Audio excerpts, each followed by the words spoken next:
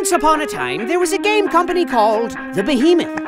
That's right, those guys. Now, the year was, um, not important, and the Behemoth set out to make a fantastic new game. A game loaded with friends and adventure, mystery and intrigue, spooky horror, full frontal nudity, and butt clenching drama, all wrapped up in the flaky, buttery crust of an unforgettable story. A story so sloppily overflowing with powerfully positive morals on life and death that one playthrough would make you sick. Sick with love and rage and vomiting. But as the years went by and this wonderful treat was dangled just out of reach, our stomachs twisted and rumbled, longing for but a nibble of this decadent slice of game cake. For shame, Behemoth. Shame on you for making this game so good and taking forever because it's like the best game ever. Shame. I mean, I'm with these guys. I'm all like, really? Really, Behemoth? Years? We all gave up on you. We don't care. I don't care. Oh, that looks fun.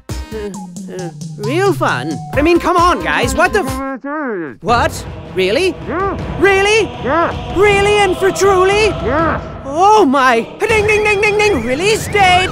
Ding ding ding ding ding! Boy, I feel like a stupid jerk now! Ding ding ding ding ding! Talking about me, not you! Ding ding ding ding ding ding ding ding ding ding! I'm over it. I'm done. Can I go home now? Okay. Buckle your pants.